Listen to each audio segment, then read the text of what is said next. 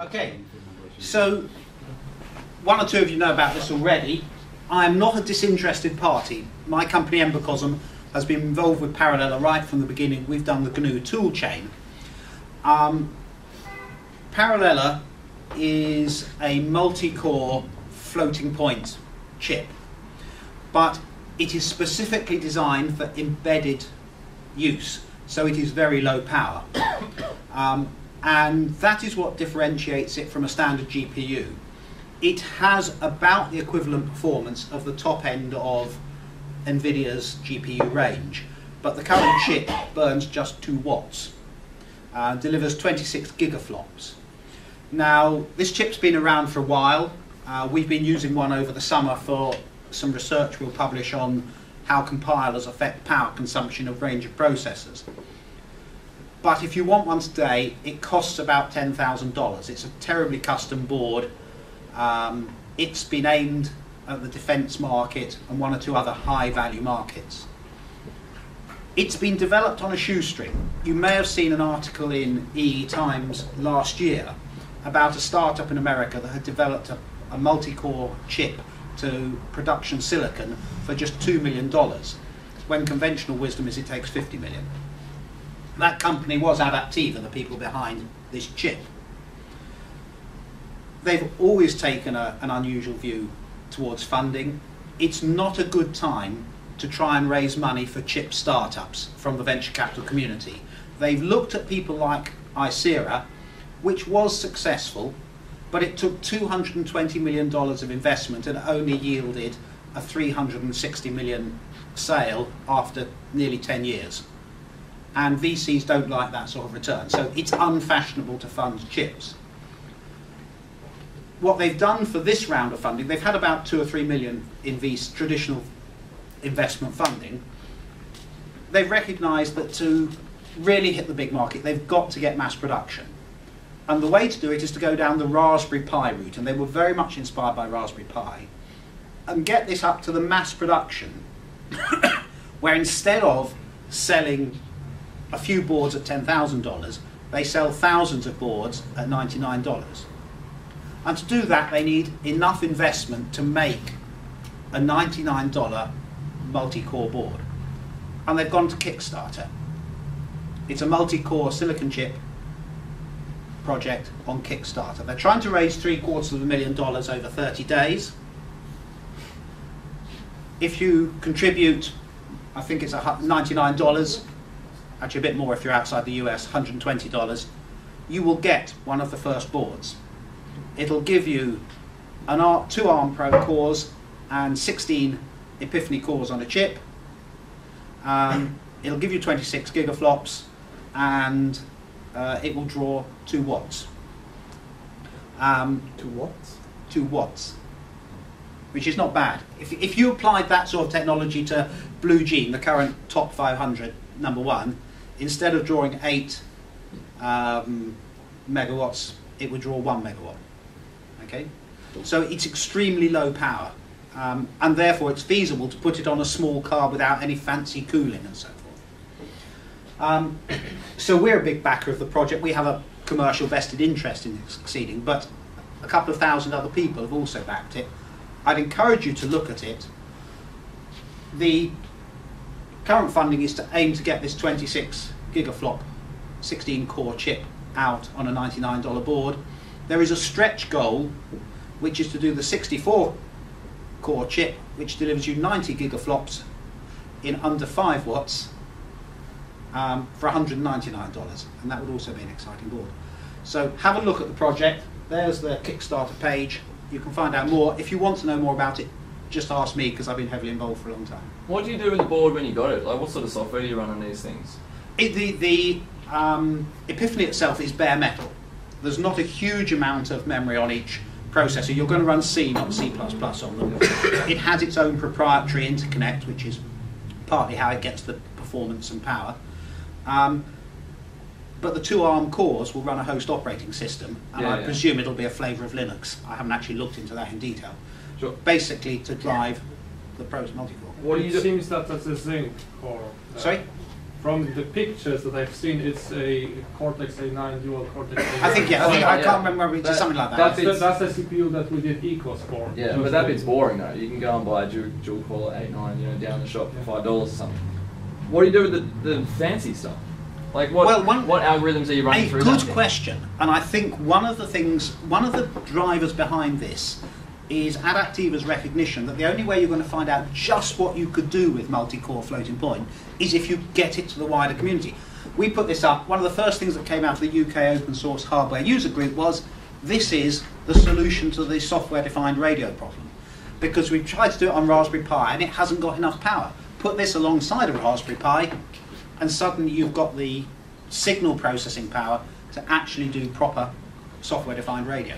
So that's one application that's come out of the blue that they hadn't thought of. We are using uh, signal processing in the radar. Yep. The radar, the sonar in the submarines. We have this kind of. Uh, uh, the customer asked uh, us to provide uh, low power system with a lot of gigaflops for signal treatment for sonar. Okay, no, that, that's the use of the chip. I'm talking about the board. What am I going to do with that board that's cool?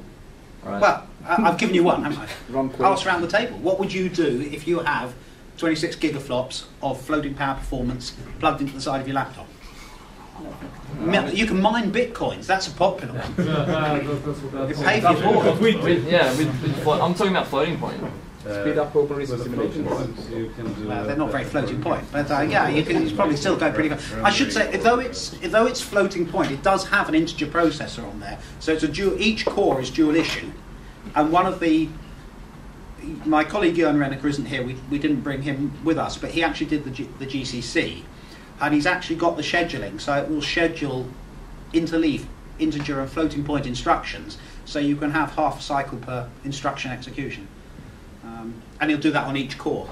And um, we have some. One of the reasons you've got quite such an impressive CoreMark is because of the tricks that Jörn has pulled in the GCC scheduling.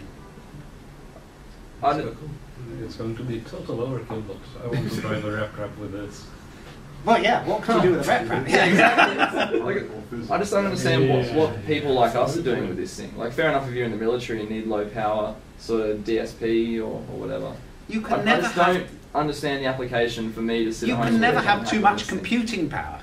You can if it's floating point, because like, there's not that much you can do with it, I would have thought. There's Well, you could do too that. much. There's enough or too little. I'm not even sure there's enough, but anyway, that's me. Uh, but, but the thing is, we might find applications uh, that require more than you get generally today. Uh, we're just starting to move into the high performance parallel computing uh, era with uh, things like uh, what is it called, uh, Creative Labs and uh, Yep. uh, ZiiLABS. Z Labs, yeah. Yeah, what used to be a creative, yeah. The um, Well, it's owned by Creative, but it was developed independently, I believe. you know, it's a big merger of 3D labs and all sorts of people. Yeah. Um, I mean, there's all sorts. I mean, there are applications in the financial sector for doing, you know, complex derivatives analysis in the market. Um, you know, people keep on coming up, but that's the whole point of saying if you make these ten thousand dollar boards, there's a handful of people going to think, what could I do with them? If you make them ninety nine dollar boards, hey, I can buy one and just see what could I do with it. And eh, if it ends up Bitcoin mining, so I've made a bit of money. Say a few words about the approach the guys have to, you know, openness. Yeah, this, so the, yeah, it's good. But uh, the reason I'm talking here is it's a very open approach. They're not releasing the Verilog, but they're releasing just about everything else. So, interestingly, they said, look, if we get to five hundred thousand dollars in the first week, we'll release all the internal architectural documentation. And they didn't get that far. They said, oh hell, no, we're committed to openness. We'll release them anyway. So all the architecture documents there. It's not like Raspberry Pi where Broadcom have suddenly said, "Oh yes, we're open, but we've decided to keep all the architectural specs behind, so you, no one else can program up the GPU." This is the opposite approach. It's saying, "No, we're completely open from the system to the software level. The only thing that's kept proprietary at the moment is the actual Verilog source." Any more questions?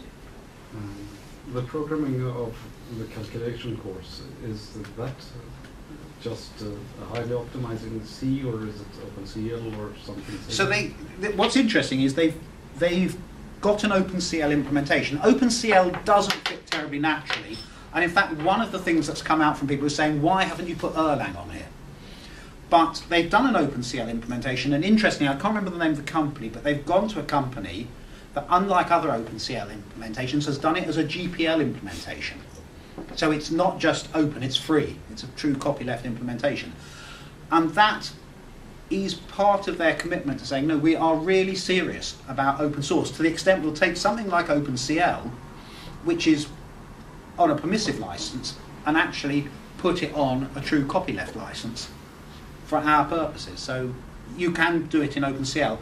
I have to say that all the interesting stuff actually tends to be when you go down to the bare metal and um, you know drive your key. You, It tends to be, but the point of OpenCL is to bring it from optimized for specific graphics cards to actually vendor independent. of course, yes. And so hence the reason you've got OpenCL, and it'll be interesting. You know, I'm sure someone will do Erlang fairly soon.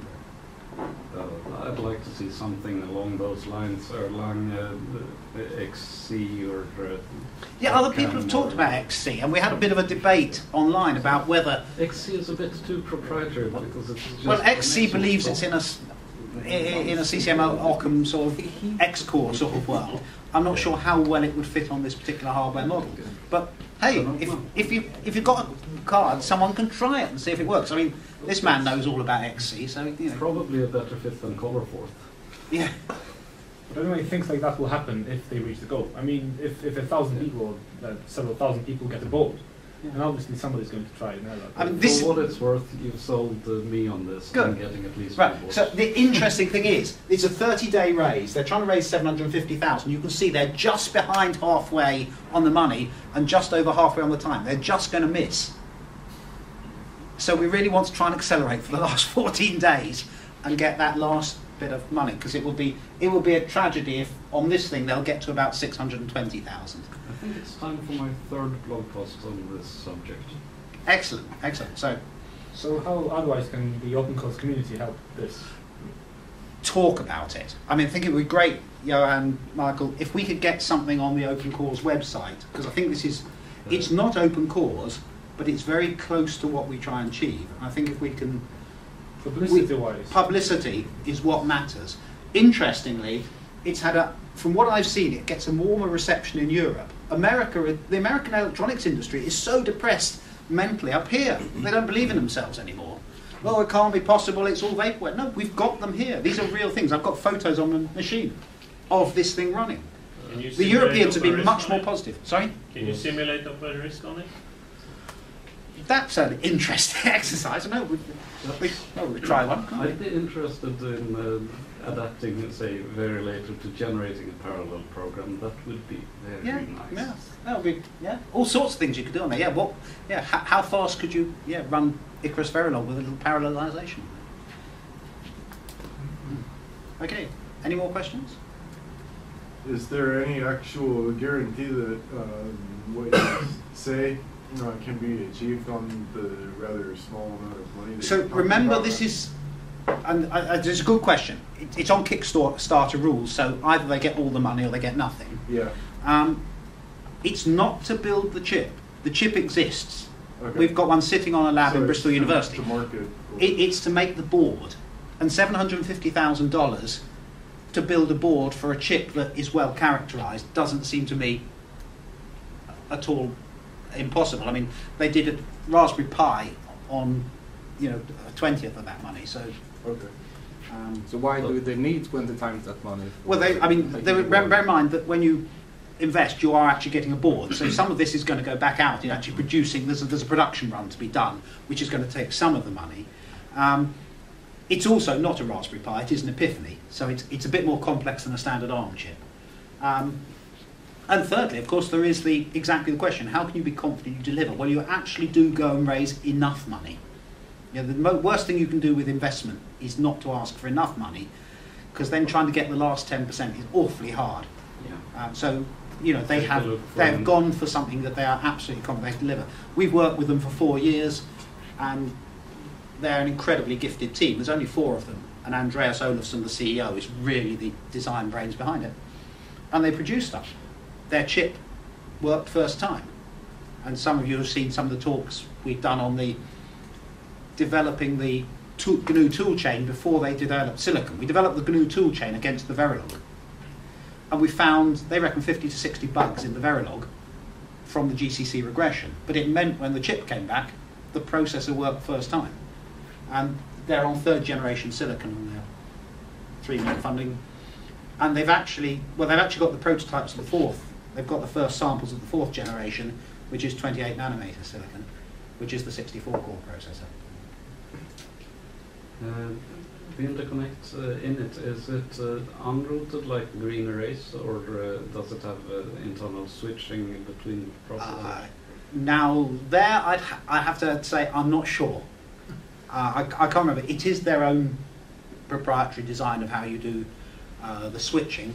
It is very. One thing that's quite interesting is that logically, it has very simple memory handling. So it's logically one address space with e- it's a four gig address space, potentially 4,000 processors in the array, each of them having a one gig slot in the memory.